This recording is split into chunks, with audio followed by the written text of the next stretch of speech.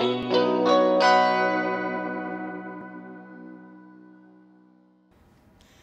this is Erin Helmrich, one of the librarians at the Ann Arbor District Library. Can you guess who I'm dressed as? I am Kiki from Kiki's Delivery Service, the awesome Japanese Miyazaki's film. This is my trusty broom with Jiji on it. And I'm here to announce the winners for the Halloween Scene Contest. So let's start out with our first category, which was Best Halloween Trunk by Shifali S. Those of you that have ever gone trunk or treating have probably seen some spooky trunks, and we loved this. The details with the spider and the scary, creepy man calling out of the grave was really cool. And let's be honest, if it was not daylight, you might have been afraid to go up to that trunk. So good job. Our next category is for the cutest Halloween scene. This one was by Jessica L. We loved all of the details, the way that your eye moves all over the place. You want to look at the spider webs, the cute pumpkins, the jack o' lantern, and that empty Halloween bucket that you wish you could fill up with lots of candy. Thanks, Jessica L. We loved your cute scene. Our next category mixes one of our other favorites, Lego, with Halloween, and pandered to us in the best possible way. Joshua C. created the best Halloween library. We love the use of the orange lighting and all those bones and details What's in the box up top and what's the ghost going to do when the box opens?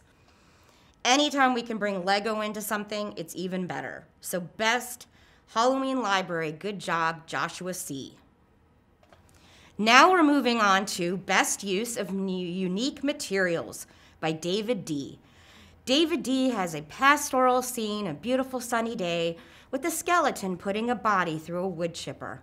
We loved the use of the red chips to represent what was coming out. You don't usually think of a sunny day when someone's putting somebody through a wood chipper. So good job, David D. Now moving on to our most creative Halloween scene. This one was by Olivia and Nick S. We loved seeing your house at night.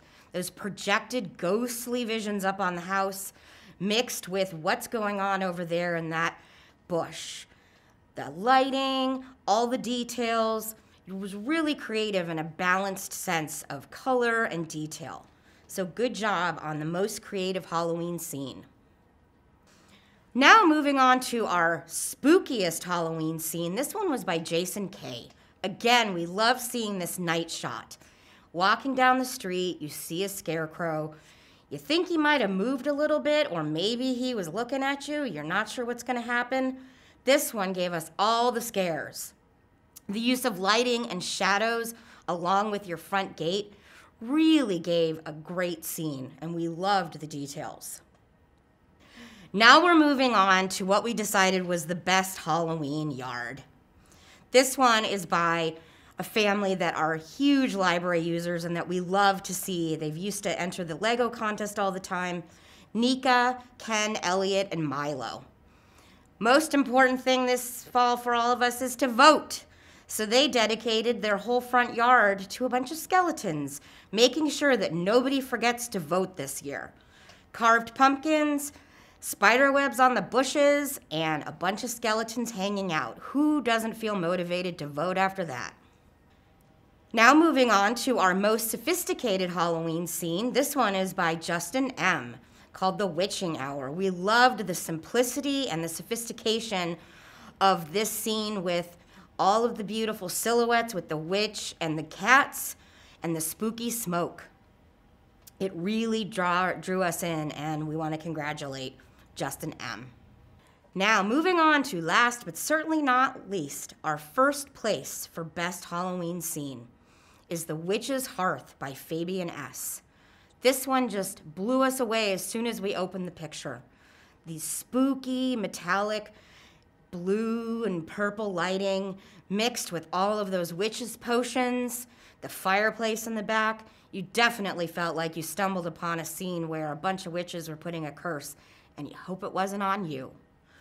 So, thank you and congratulations again to Fabian for The Witch's Hearth.